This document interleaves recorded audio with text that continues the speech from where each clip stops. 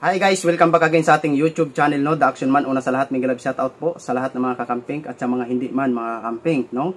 So ito na po mga ka-action, mga kakamping, bibilangin na po natin kung magkaano nga ba ang inabot ng mga donors para kay Tatay Bibi. Pero bago ang lahat, nais ko munang i-shoutout ang gustong magpa-shoutout. May galab shoutout po kay Ma'am Sally Baldonado.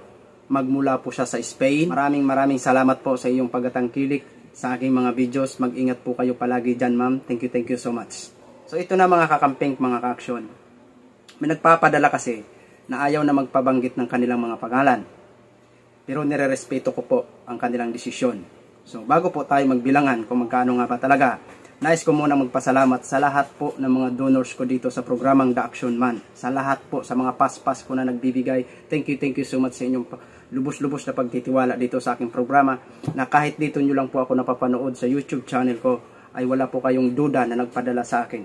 Thank you, thank you po. At sisiguraduhin ko po sa inyo na bawat padala nyo po, ito po ay may resibo at ito po ang bidyong ito. No? So, may nagpadala po kasi dito mga ka-action na magmula sa US. Nagpadala po siya ng 3,000 pesos pero ayaw niya na po magpabanggit. Ang sabi niya lang po sa chat message is sabihin na lang si tatay na magpagaling na lang no?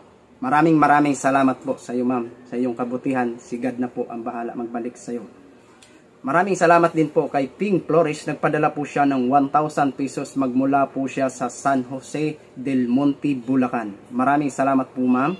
And also maraming maraming salamat po kay ma'am Juliana I'm sorry ma'am hindi ko po talaga mabanggit yung pangalan ng ay apelyido ng asawa mo no kasi hindi ko ma-pronounce, no? Si Ma'am Juliana po, sana mapanood mo to. Si Ma'am Juliana po ay all the way from Germany. Nagbigay din po siya ng 100, uh, ng 1,000 pesos. Maraming salamat po, Ma'am Juliana. At itong iba, ayaw na talaga magpabanggit ng kanilang mga pangalan, no? So may nagpadala po dito ng 1,000 pesos again. Maraming salamat po. And also may nagpadala din po ng 500 pesos. Maraming maraming salamat po. And also maraming salamat po sa 300 pesos. Maraming maraming salamat po. At may nagpadala din po ng 70 pesos. At may nagpadala din po sa 50 pesos. Maraming maraming salamat po sa inyong lahat. So sa suma total po ay nagkakahalaga po ng 6,920. Bigyan na nga natin ng palakpakan yan.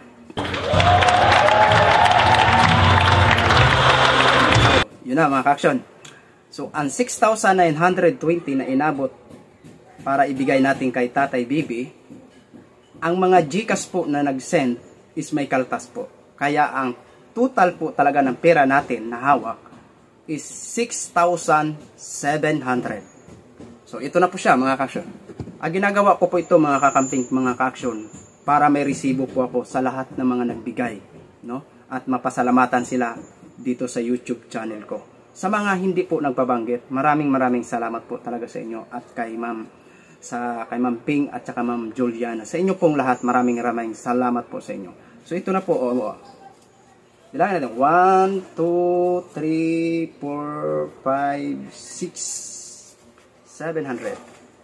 So ang plano ko po dito mga kakamping, mga ka-action, ipagbili ko po sila ng bigas.